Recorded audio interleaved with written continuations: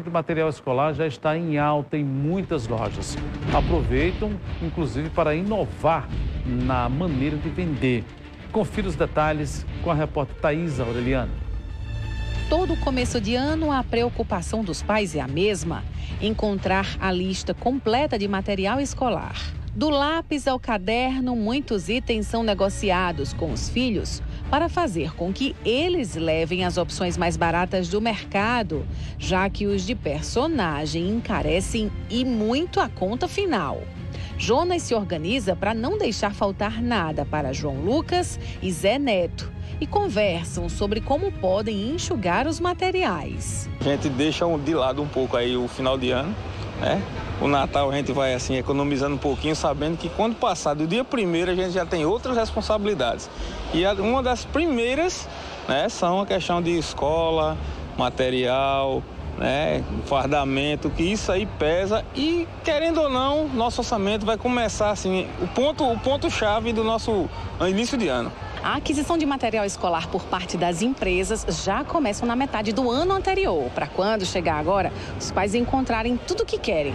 Mas não é porque tem itens em exposição que eles podem deixar essas compras para a última hora.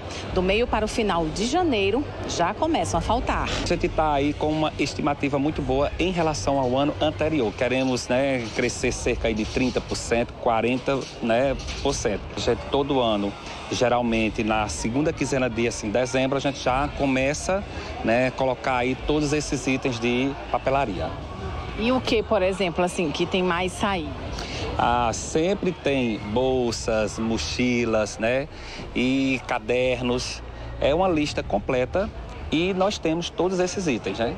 As facilidades no pagamento e as vendas online têm atraído os pais mais práticos. Entra lá no site, né, e vai ter também todas essas opções. Ele pode estar também comprando de dentro de sua casa, né, em casa. E como é que faz para pegar? Para pegar, a gente tem o nosso site, né? Você entra lá e tem a opção de escolher retirada em qualquer uma de nossas filiais. E aí, como é que é a forma de pagamento? Que a gente sabe que quem tem dois, três filhos já pesa nossamente. Exatamente. Olha aí, as lojas físicas, né? Nós é, trabalhamos em até 10 vezes sem juros, né? Mas o que os pais queriam mesmo era economizar.